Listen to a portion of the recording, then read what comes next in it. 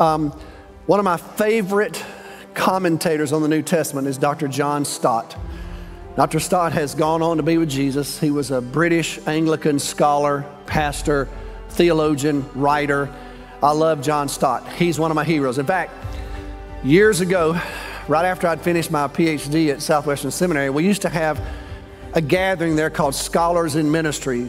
And these PhD grads would gather from across the country, and we would have a scholar come in for a week, and we'd spend that time with them and eat with them and talk about their area of expertise. And one year, the speaker was John Stott. I was so excited. I love John Stott, and I forgot to register for it. So, but I called in and I signed up late, and they let me in. So we get there, and when I get to the registration table, everybody has these really nice name badges, you know, with their names on it and where they serve and kind of in plastic and all that. I had nothing. And the lady at the desk said, Dennis Wiles. I said, she said, you know, you were late in your uh, registration. I said, I, I, I know that. She said, Well, I don't have anything for you. I said, That's okay. So they gave me a little, a little, you know, stick on and had me just write my name on it. And everybody else had these really nice, you know, laminated, whatever, booklets with their names on them. Anyway, she said, and we only have one seat left, and it's where you're going to sit the rest of the week. It's where you'll eat every meal and attend the lectures. And it was right next to John Stott. So I sat down next to Dr. Stott and looked out at my colleagues. I was going, I'm the one up here with my little old Mickey Mouse name tag on. Me and John are hanging out. Um, but here's what Dr. Stott, he's written an incredible, several commentaries actually on Acts, but one of them in particular I love it. Here's what he says about this text. He says, when you read this text, it's about relationships. He says, first of all, these people were in relationship with the apostles when you read the text, in submission. The apostles' teaching, they submitted themselves to what the apostles were teaching. He says also they were in relationship to each other. They loved each other. They cared for each other. They served each other. He says they're in relationship to God. They worshiped each other. They, they broke bread. That was a, they, we believe it, that first instance in the text was about the Lord's Supper. They attended the prayers in Greek, plural. That's the regimented prayers at the temple. In other words, they had formal and informal worship. They were in relationship to the world. They were reaching out to people, sharing the gospel with them. And so the Lord was adding to their number daily. So all of that is found in this text. Now, this text is very important to us because if you've come in the main welcome center off of Center Street, you'll find Acts 2.42 written in a scripture ring on the floor of our church. There's the Carolingian cross there in the floor. There it is. Those are the intersecting um, designs that represent the Trinity. That's the Trinitarian cross and you'll see Acts 2:42 written around that ring. What we're trying to communicate to everybody who comes in our church is we believe in the cross and what Jesus did for us. We believe in the Trinity and we believe in the church.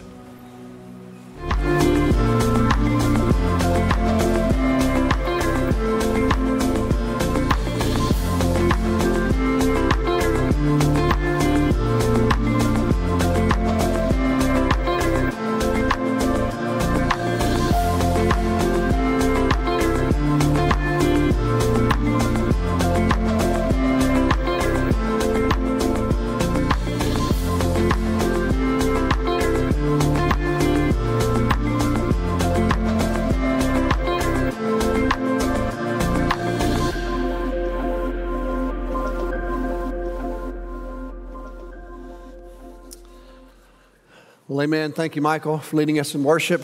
Uh, some of us are headed to the Baptist General Convention of Texas annual meeting today, and uh, Michael Glenn is going to be one of our worship leaders at the BGCT. How about that, Brother Michael? Okay. And uh, I'll just be walking around bragging, saying, Yeah, he's, he's one of ours. right, Blair? I'll just I'll brag for you anyway. But uh, we're looking forward to that time together. Well, it's good to see you here this morning. Glad you're here. I want us to begin this uh, my time this morning with a word of prayer. So would you join me? Let's pray together. Well, Father, we uh, we're always humbled when we're in your presence, and we thank you, Lord, for who you are and your love for us, and we love you, and we acknowledge you as our sovereign Lord, majestic and glorious and holy, enthroned forever. And today, Lord, we come before you on behalf of our world. We know that you know our world is in a state of upheaval and violence. There's continued chaos in so many places on our planet today, and people are in harm's way. And so we continue to pray for peace. We ask you to give wisdom to world leaders as they make decisions.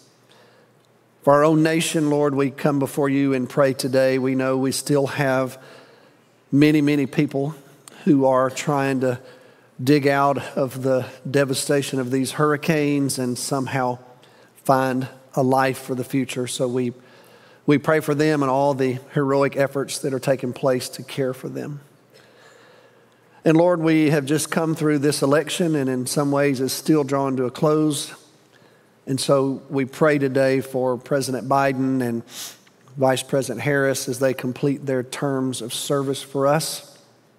We pray, Lord, for President elect Trump and Vice President elect Vance that you would give them wisdom and grace in victory and give them the ability to lead our nation to heal, to face problems that touch the lives of real people. And we pray for us as the people of God in America today. Lord, I pray that we will exhibit our commitment to following the Jesus way in our own behavior. That, Lord, we would follow Jesus in how we treat each other, especially how we treat those with whom we disagree politically. We recognize that we are a free church and we live in a free state. And that is a grand experiment that continues to this day. And I just ask, Lord, that you'd give us wisdom to be the church and that we would always recognize we are citizens of a grander kingdom, brighter than any one nation, and a kingdom that demands more of us than any national or political proclivities. A kingdom, as a matter of fact, that was actually established by none other than Jesus himself. And so we confess today that He is our King, He is our Lord, He is our Savior, He's our role model, and He is our returning Redeemer. And now, Lord, more than ever, we need Him to be all of that. And I offer this prayer today in His name. Amen and amen. well, you know, if you have been with us at all, in this year that our theme for the entire year is together. And each one of these liturgical seasons, we have been exploring various facets of what it means to be together. This is Missions Month, and for missions, our theme is Together to the People. And I hope that you've obtained your devotional guide already. Um, they're available for you. They're also it's available online at fbca.org slash word indeed. But it has our weekly Together in Word Bible readings. It has our Together in Deed suggestions of application. And this particular month, it has a good bit of information about our missional partnerships. And so it's a, it's a valuable resource to you. When you came in this morning, if you came in the main welcome center, you saw some of our local partners, community partners that our church supports and would encourage you to find your way there if you haven't done it today, just to see some of the places where you're invested in ministry in this local community. So, with that said, I want us to look at the scripture today. I'm entitled the message God's People, Life in the Church. The text is um, Acts 2, verse 42. I will say a word of thanks to Sister Ida for reading that for us already in Arabic, and we appreciate you and Brother Raymond and your leadership in our Arabic ministry here in our church. Um, I'm going to read the text in Alabama English, if that's okay with y'all, and uh, hopefully you won't need a translator as we did for Miss Ida as she was reading. But let's look at this text, Acts 2, verse 42. They devoted themselves to the apostles' teaching and to fellowship, to the breaking of bread and to prayer. Everyone was filled with awe at the many wonders and signs performed by the apostles. All the believers were together and had everything in common. They sold property and possessions to give to anyone who had need. Every day they continued to meet together in the temple courts. They broke bread in their homes. They ate together with glad and sincere hearts, praising God and enjoying the favor of all the people. and the Lord added to their number daily those who were being saved. This text is about the church, and that's what I want us to talk about today. I want to talk to y'all about life in the church. I have spent my entire life in the church. My mama took me to church the second week after I was born, and I have been in the church ever since. Um, I have spent my adult life primarily as a pastor of local churches. So I have spent all of my life connected to a local church. In fact, I'm not even sure how I could possibly tell you the story of my life without talking about the church and the role that churches have played in my life. For the last 23 and a half years, this church and the role it's played in my life. And so I, I've spent so much time thinking about, praying for, working in, belonging to the church. So I want to talk about it today. And our church is a Baptist church, and so we are a confessional church. We're not a creedal church. What that means is, as Baptists, we historically have adopted confessions of faith that best represent what we believe as a group of people at a certain moment in history. We have not been creedal people. However, we're in the overwhelming minority in Christendom. The overwhelming majority of the Christian family is creedal. What I mean by that is when you gather for worship, in churches that are creedal in their orientation. They typically do some things that we don't do in our worship service. For example, it's very common in much of Christendom when the church gathers on Sunday morning for the people in the congregation to read these historic creeds out loud together. And they are statements that typically, typically begin with, I believe. Are y'all familiar with this?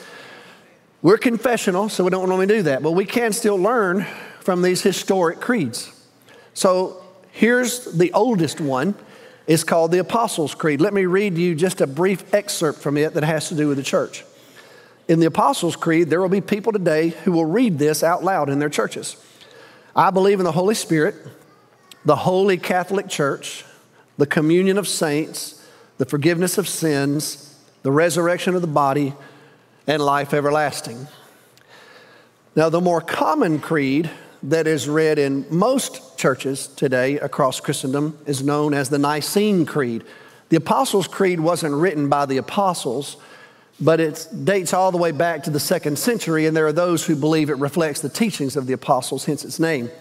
The Nicene Creed is named for the council that occurred in AD 325, called by Constantine in the town of Nicaea. And it is the more common creed that's read in churches today, particularly in the West. And here's what it says about the church I believe in one holy Catholic and apostolic church. I confess one baptism for the forgiveness of sins, and I look forward to the resurrection of the dead and the life of the world to come. Now, whenever you see the word Catholic in these creeds, it's not referring to the Roman Catholic Church. The word Catholic just means universal. In other words, the, the statement is I believe in the universal church. Now, we as Baptists, as I said, we're confessional. And so for us uh, here at First Baptist Arlington, we have actually embraced the Baptist Faith and Message, which is a, a confession that was written by Southern Baptists. And the one that was adopted in 1963 is the confession that we have said most fully expresses what we believe at First Baptist Arlington. It has numerous articles. And we have taken those articles of belief and we have made them more accessible to everyone, writing summaries of them. And we refer to those summaries as our core beliefs. You can find those on our website. Here's the core belief statement about our church that we have said we believe at First Baptist Arlington. Let me read it to you. We believe the church is the body of Christ on earth today. Jesus established the church and it exists to perform God's will on earth. Believers are to invest themselves in the life and work of the church. And the texts from Matthew, Acts, and 1 Corinthians guide us in that statement. Now, in our society today, if you mention the word church, you might get all kinds of responses because everybody is a critic. I get it. And everybody's an expert on what the church ought to be doing. And it is what it is. People have all kinds of views about the church, and they blame just about everything you can think of on the church.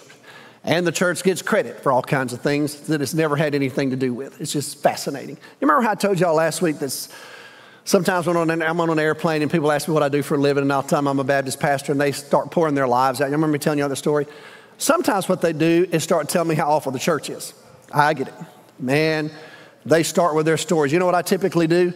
I will say, whenever you're finished, I'm going to tell you some stories that are a whole lot worse than the ones you just told because I promise you, I got insider information. I know how bad the church can be. I've been in it a long time.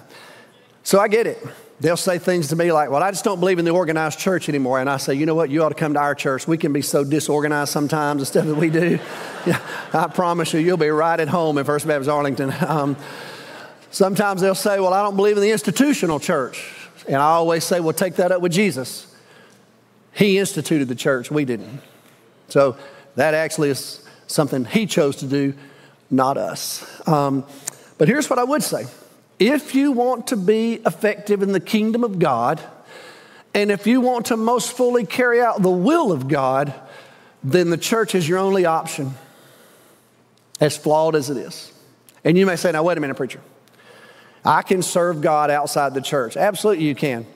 And you should but you cannot serve it as effectively as you ought without being a part of one. So, what I would tell you, get in one. Okay? Now, I realize I'm preaching to the choir. I'm standing here looking at y'all, and y'all are in this one, okay?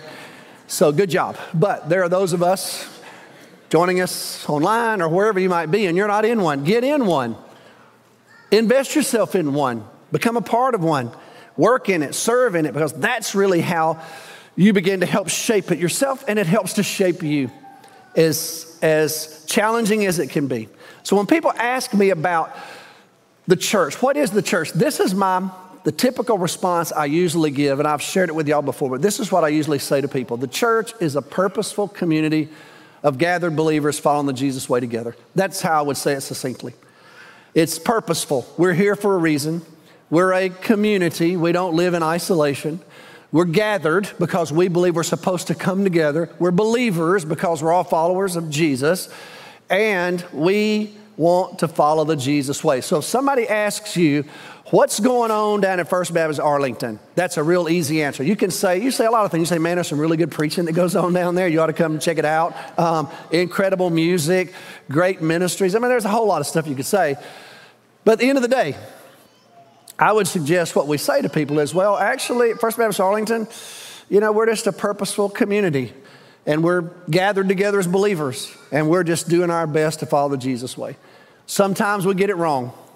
We're, we're not always right, but we're trying to figure it out as best we know how, we're trying to follow the way of Jesus. And so that's our hope. So when we look at the New Testament, here's what I want us to do today I want us to go back to the very first century when the church was birthed and see if we can learn some things. The New Testament is filled with information about the church. The New Testament was written in Greek, not in English. And there's a Greek word that's used in the New Testament that's translated with the English word church. It's the Greek word ekklesia. It, it comes from a verb, kaleo, and the prefix ex, ek, rather, which means out of. And so Kaleo means to call, to call out. So if you put ek, kaleo, ecclesia, it's the called out ones. In other words, we've been called out from the crowd to gather together as the people of God and serve the interests of the kingdom of God. That, that, that's who we are. That word's used 115 times in the Greek New Testament. So it is the word that the apostles used to refer to this. We're the ecclesia, we are the called out ones if you will. Now, there are multiple images in the New Testament to help us better understand the church because images sometimes help. And so, what are, the, what are the images offered to us in the New Testament? Let me just give you a selection of them. The church is referred to in the New Testament as a spiritual house, a holy priesthood, a chosen race, a royal priesthood, a holy nation, people for his own possession, the brotherhood, the assembly, the body of Christ, the bride of Christ, the fellowship, All those images are used to help us better understand who we really are as the people of God. So here's what I want us to do this morning for just the next few minutes. Let's go back. Here we are, our church. We're as 2024, almost 2025. We've been here since 1871. So our church has been here for over 150 years. But I want us to go all the way back to the very first church, okay? The church in Jerusalem, and see what we can learn from it. See if we can see some things in it that might help us be better at doing church in the 21st century. And don't y'all want to get better? Don't you? I mean, I like our church. I love it. And I think it's good. When people ask me about First Baptist Arlington, that's what I usually say. It's good. Because I believe it is at its core. But don't y'all agree we could get better? Okay. Um, some of y'all at least agree with that. So we, we could get better. Um, and I want us to. Well, one of the ways I think we can do that, let's go back to the first one. And then let's start looking at what these, that church did and what God had for that church and see if we can translate it to the 21st century. So let's go all the way back to Acts 2. So here's the context Acts 2, 42 through 47. Luke pauses in his narrative about the miracle of Pentecost to offer a brief summary of the first church in the history of Christianity. And here it is. He tells us about the Spirit of God was given. They spoke in languages they weren't trained in. 3,000 people joined the church right there on the spot. It was an incredible awakening.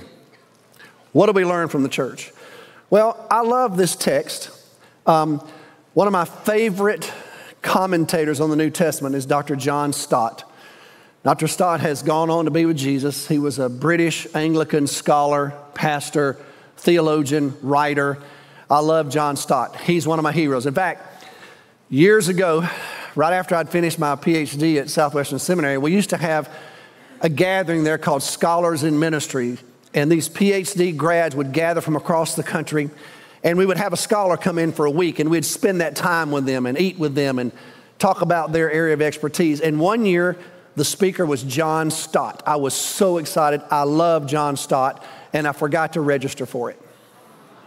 So, but I called in and I signed up late, and they let me in. So we get there, and when I get to the registration table, everybody has these really nice name badges, you know, with their names on it and where they serve and kind of in plastic and all that. I had nothing. And the lady at the desk said, Dennis Wiles. I said, she said, you know, you were late in your uh, registration.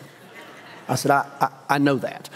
She said, well, I don't have anything for you. I said, that's okay. So they gave me a little, a little, you know, stick on and had me just write my name on it. Everybody else had these really nice, you know, laminated, whatever, booklets with their names on them. Anyway, she said, and we only have one seat left, and it's where you're going to have to sit the rest of the week, where you'll eat every meal and attend the lectures, and it was right next to John Stott. so I sat down next to Dr. Stott and I looked out at my colleagues. I was going, I'm the one up here with my little old Mickey Mouse name tag on. Me and John are hanging out. Um, but here's what Dr. Stott, he's written an incredible, several commentaries actually on Acts, but one of them in particular I love it. Here's what he says about this text. He says, when you read this text, it's about relationships. He says, first of all, these people were in relationship with the apostles when you read the text, in submission. The apostles' teaching, they submitted themselves to what the apostles were teaching. He says also they were in relationship to each other, they loved each other. They cared for each other. They served each other. He says they're in relationship to God. They worshiped each other. They, they broke bread. That was a, they, we believe that first instance in the text was about the Lord's Supper. They attended the prayers in Greek, plural. That's the regimented prayers at the temple. In other words, they had formal and informal worship. They were in relationship to the world. They were reaching out to people, sharing the gospel with them. And so the Lord was adding to their number daily. So all of that is found in this text. Now, this text is very important to us because if you've come in the main welcome center off of Center Street, you'll find Acts 2:42 written in a scripture ring on the floor of our church. There's the Carolingian cross there in the floor. There it is. Those are the intersecting um, designs that represent the Trinity. That's the Trinitarian cross, and you'll see Acts 2:42 written around that ring. What we're trying to communicate to everybody who comes in our church is we believe in the cross what Jesus did for us. We believe in the Trinity and we believe in the church. And we want to welcome you with that testimony just by walking in the door. One of my favorite things about it is that everybody comes in and leaves. That's where you that's what you're greeted by. Whenever we have a funeral in our church and one of our brothers or sisters has died, when we leave the church, take their body out of our building, the last thing they do is we roll across that um, scripture ring. It's the last thing they touch on their way out. Our belief about the cross, our belief about the Trinity, and our belief about what, I, what we believe about the church. I love that. Y'all go out there and stand on it today, okay? And just contemplate it because it sends a powerful message. So, this text is very important to us. So, here's what I want to do real quickly. Um, y'all still with me? All right, here's what we're going to do. We're going to just real quickly look at the things that characterize this church and see if we can transport them to the 21st century. So, let's start here. Church life. First, discipleship. We learn how to be disciples at church. These men and women who joined the church there in Jerusalem, they were committed to, devoted to the apostolic witness, the teachings of the apostles. Why? Because the apostles followed Jesus. And so we become a part of the church so that we can learn how to follow Jesus. We need to be just as committed to the apostolic witness. Well, what is the apostolic witness? The apostles are all gone. It's the New Testament. The New Testament was written by apostles or people closely associated with apostles.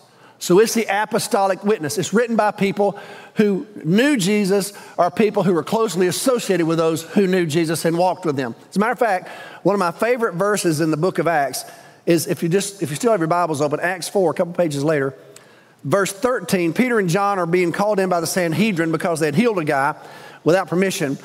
And it says this, verse 13, when they saw the courage of Peter and John, they realized they were unschooled, ordinary men. In other words, they weren't seminary trained, they didn't go to the school of their rabbis. They were astonished and they took note that these men had been with Jesus. I love that. They said, Well, we don't know where they got their training. All we know is we recognize them, they've been with Jesus. Would to God, that's what everybody says about us. We don't really know that much about First Baptist Arlington, but here's what we do know those people, they've been with Jesus. That's what a disciple is. People who've been with Jesus, people who are learning how to follow Jesus. We're an apprentice, if you will. I'm, I'm reading this book right now uh, by John Mark Comer. It's called Practicing the Way. I love this little book. I'm, I'm just getting through it. But let me just read you one of the things he says about this. He talks about being an apprentice and he challenges our thinking about being a disciple. And here's what he says To follow Jesus, then, meant to walk alongside him in a posture of listening, learning, observation, obedience, and imitation. For Jesus' first apprentices, the goal wasn't to pass a test, get a degree, or receive a certificate to frame on your office wall. It was to master the art of living in God's good world by learning from Jesus how to make steady progress into the kingdom of God. It was less like learning chemistry and more like learning jujitsu. I love that. It's, it's not about gathering data and information, as important as all that is. It's about learning how to actually follow Jesus. That's really what this is about. And so the church, that early church, that's who they were. They were disciples. They were committed to the teachings of the apostles who had been with Jesus. Next, church life fellowship. We live in community with believers at church. It's one of the beautiful things about church. The Greek word is koinonia, it means community. You see, God exists in eternity in communities, Father, Son, and Spirit. He has created you to live in community. He has not created you to be isolated, to just live all by yourselves. The church is a place for the people of God. I, I came when I, have been doing a bunch of research for um, this whole journey into flourishing that we're preparing our church for these next few years. And as I was doing some research, I came across a report from the Surgeon General of the United States. His name is Vivek, Dr. Vivek Murthy. And he has issued what he calls a general advisory. Do y'all know what a general advisory is from the Surgeon General? He's the leading medical officer in America since 2014. It is a, an urgent public health issue, an epidemic. He's issued in May of 2023 an urgent message to Americans about an epidemic. You know what the epidemic is? Loneliness. So the Surgeon General has produced this multi page report about loneliness. Let me read you his introduction. He says, When I first took office as Surgeon General in 2014, I didn't view loneliness as a public health concern. But that was before I embarked on a cross country listening tour where I heard stories from my fellow Americans that surprised me.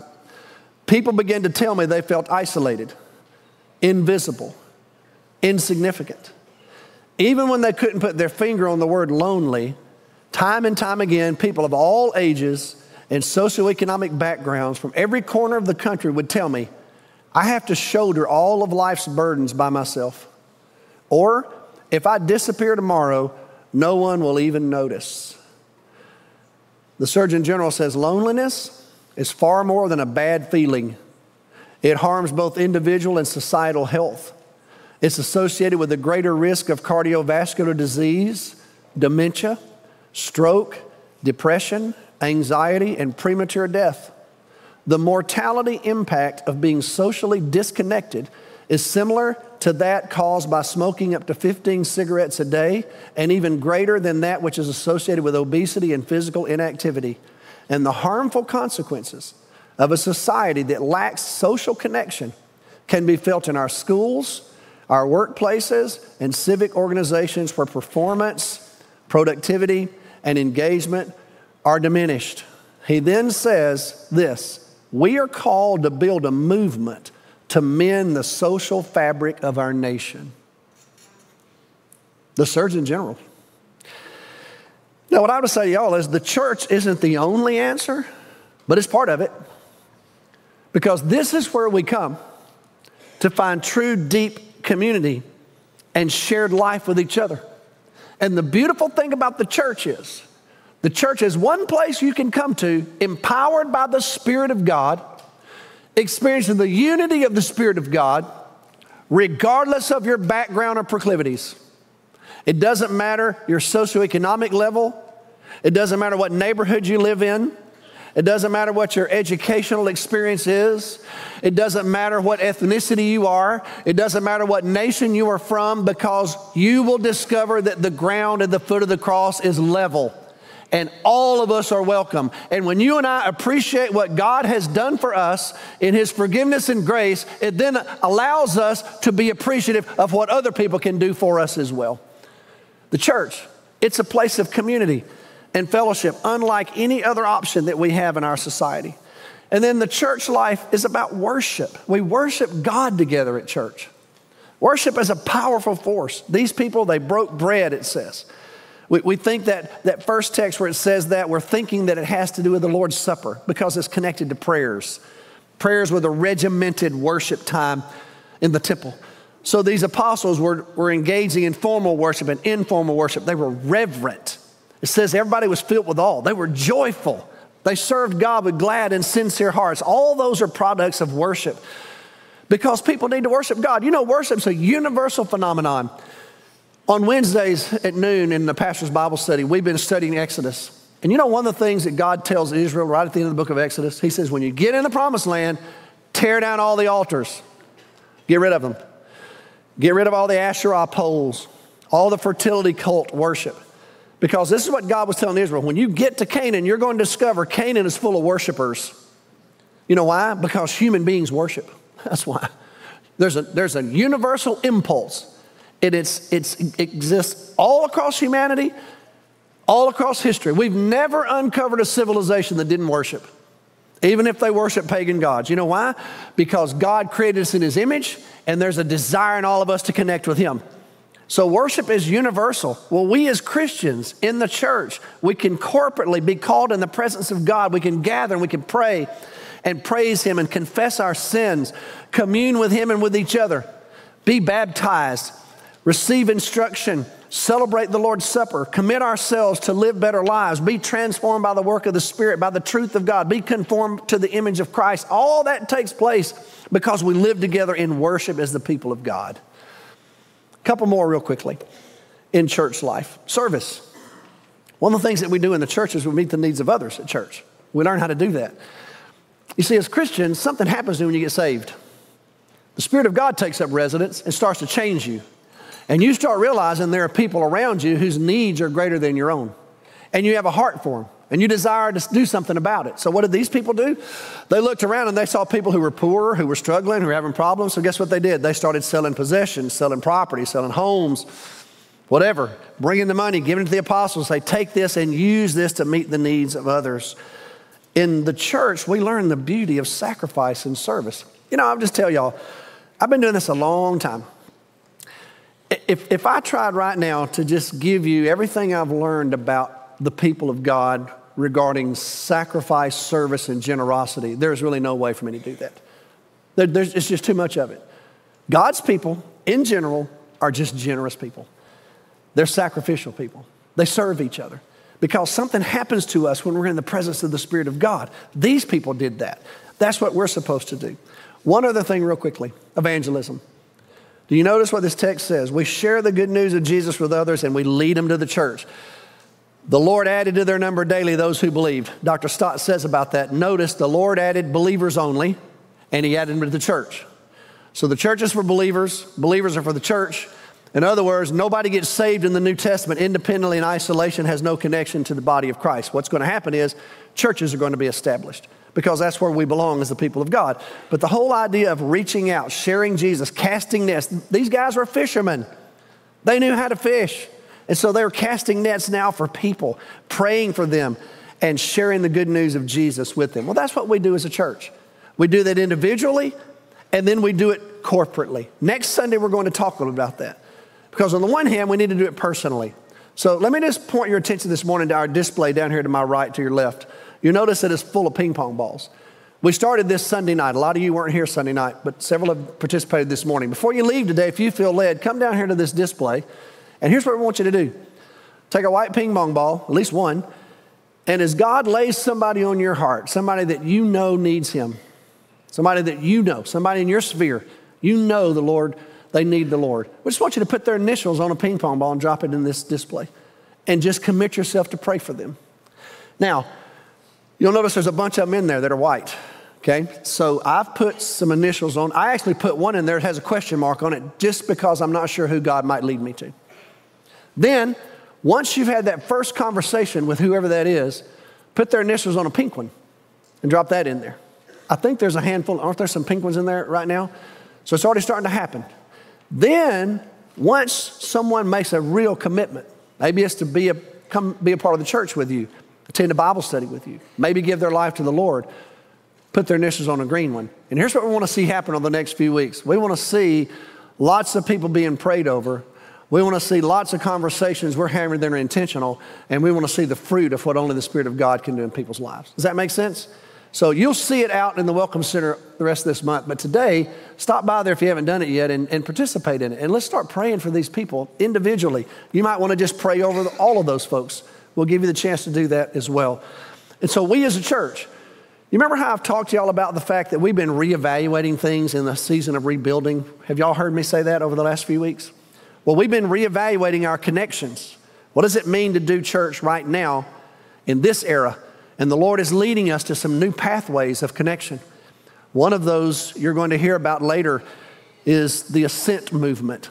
It is a North American movement, multi denominations people coming together seeking to share the good news of Jesus across North America. And I'm a part of that movement. Our church has already begun to support it. You're going to hear more about it. It's one of those new pathways. We'll talk about it again next week.